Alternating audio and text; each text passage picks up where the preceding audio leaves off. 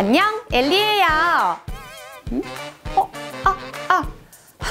엘리사우루스, 너 왜 자꾸 입볼로 날 찔러?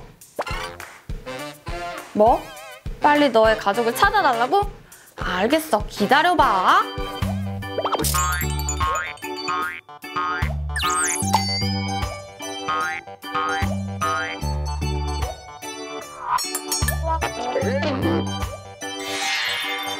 엘리의 공룡 장식 트리케라토스의 이름은 세 개의 뿔을 가진 얼굴이란 뜻이에요. 백악기 후기에 살았고 티라노사우루스와 같은 지역에서 살았대요. 몸 길이는 8에서 9m, 높이는 3m, 몸무게는 6에서 7톤, 뿔을 가진 강룡 중에서 가장 큰 덩치를 자랑했다고 하네요.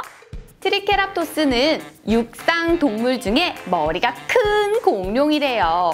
발견된 화석 중에는 머리 길이가 2.5m, 몸 길이 3분의 1이 머리인 것도 있었대요.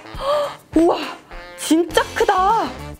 얼굴에는 총 3개의 뿔이 있었어요.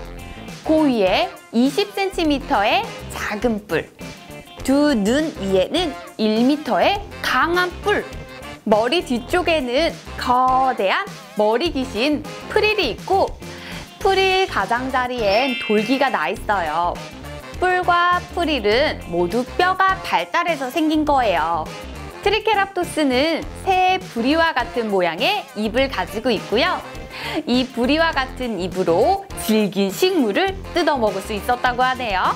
머리의 무게를 잘 지탱하기 위해서 앞다리가 가슴에서부터 양 옆으로 펼쳐진 자세로 지금의 코뿔소랑 비슷하네요.